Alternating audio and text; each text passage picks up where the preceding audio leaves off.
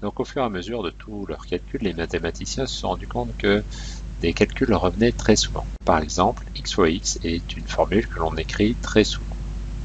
Ils ont donc décidé d'écrire à la place de x fois x, x au carré, ou x exposant 2. Quand on écrit x fois x fois x, cette fois-ci on écrit x au cube, ou x exposant 3. Le 3, on le fait en petit en haut à droite de la lettre x. Et on continue. Si j'écris x fois x fois x fois x, il y a 4 facteurs. J'écris x exposant 4. Et on continue, ainsi de suite. Si vous avez compris tout ça, c'est très bien. D'ailleurs, la dernière formule, elle n'est pas à retenir, elle ne sera vue qu'en quatrième. En cinquième, nous allons nous concentrer sur x au carré, c'est égal à x fois x, ou quand vous voyez x fois x pour gagner du temps, vous écrirez x au carré. Idem pour x fois x fois x fois x, on va écrire x au cube pour aller beaucoup plus vite. Nous avons vu plusieurs techniques, plusieurs méthodes pour écrire de plus en plus vite. Cependant, il faudra faire attention à deux cas où ces méthodes pour écrire plus vite sont piégeantes. Ce n'est pas dur comme nous allons le voir.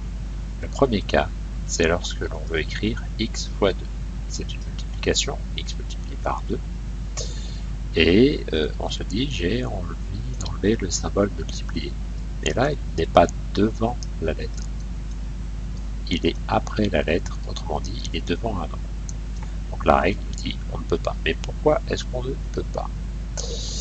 Euh, Si je le fais supprimer ce symbole multiplié, qu'est-ce qui arrive?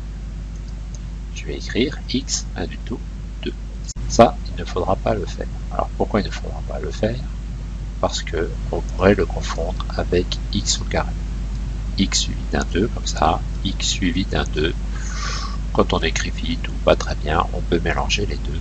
Donc on n'écrira jamais x suivi d'un 2 pour dire x fois 2. x au carré, c'est égal à x fois x, x multiplié par lui-même.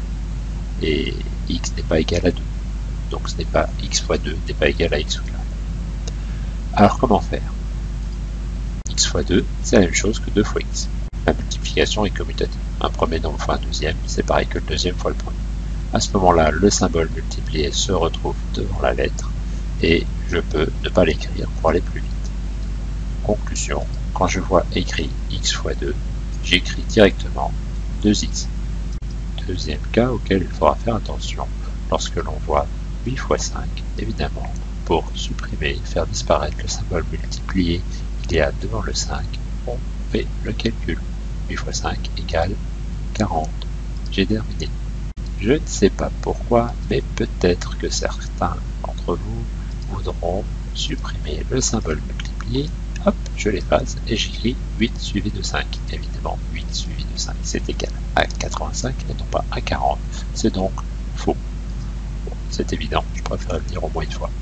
C'est fini.